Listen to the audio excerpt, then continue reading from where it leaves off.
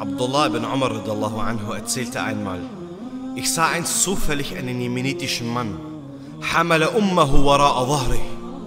Dieser Mann trug seine Mutter auf dem eigenen Rücken. Yatufu fil bayti. Er war gerade dabei, den Tawaf von der Kaaba zu vollziehen. Er umkreiste also die Kaaba mit seiner Mutter auf dem Rücken. Dabei rezitierte er ein Gedicht und Abdullah ibn Umar anhu hörte sein Gedicht. إني لها بعيرها المذلل إن أذعرت ركابها لم أذعر Am heutigen Tag werde ich für meine Mutter wie ein untertäniges Tier sein. Und wenn irgendetwas oder irgendjemand versuchen sollte, mich davon abzuhalten, so werde ich heute standhaft sein. Damit meinte er, dass ihn nichts davon abbringen werde. Und in einer anderen Überlieferung heißt es, dieser Mann kam zu Abdullah ibn Umar radiallahu anhu und fragte ihn, Hamaltuha akthar ma hamalat. O Abdullah ibn Umar, ich trug meine Mutter schon länger auf meinem Rücken, als sie mich in ihrem Leib getragen hat. Was so viel bedeutet, wie er trug sie bereits länger als neun Monate auf seinem Rücken. Länger als neun Monate.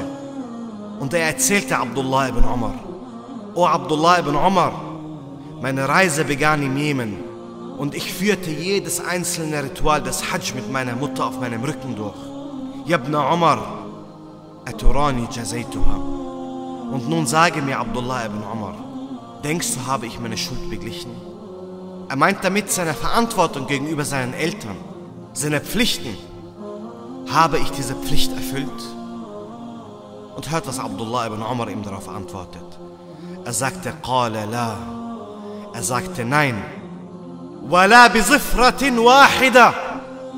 Du hast nicht einmal diesen einen Atemzug beglichen, den deine Mutter am Tage deiner Geburt einatmen musste.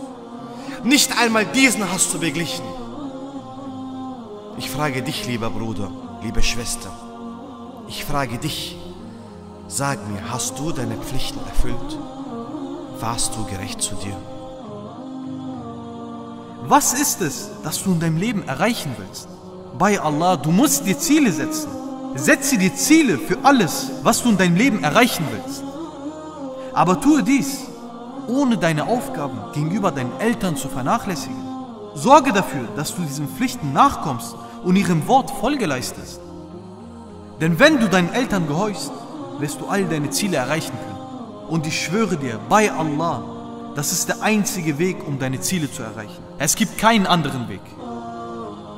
Jedes Elternteil, das es schafft, sein Kind zum Alim oder Hafiz zu machen, wird Allah subhanahu wa ta'ala am Tage der Auferstehung mit einer Krone belohnen. Und man wird diese Menschen sehen und man wird fragen, wer sind diese Leute? Was haben sie in ihrem Leben an Gutem vollbracht für eine derartige Belohnung?